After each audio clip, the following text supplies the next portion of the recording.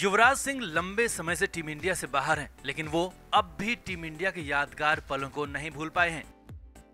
हालाँकि इन दिनों football world cup चल रहा है तो युवराज सिंह पर भी फुटबॉल का खुमार छाया हुआ है और युवी फ्रांस की टीम का फीफा वर्ल्ड कप में समर्थन कर रहे हैं। लेकिन जब युवराज सिंह से टीम इंडिया की फुटबॉल वाली प्रैक्टिस के बारे में पूछा गया तो युवी ने कई किस्से सुनाए और धोनी को लेकर तो बहुत बड़ी बात कह दी।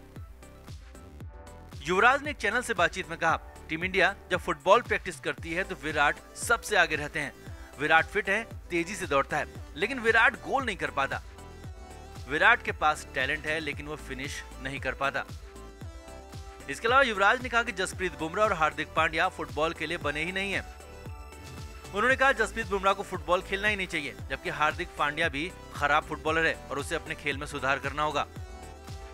वहीं युवी ने मजाकिया लहजे में कहा कि रोहित शर्मा भयानक फुटबॉल खिलाड़ी है। वो गेंद पास कर देता है और हिलता भी नहीं है।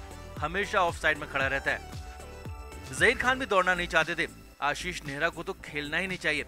जब भी नेहरा फुटबॉल खेलते थे तो चोटिल हो जाते थे। सबसे आखिर में युवराज सिंह ने धोनी का भी नाम लिया।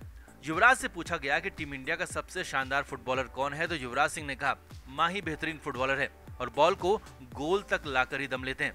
Flame media report.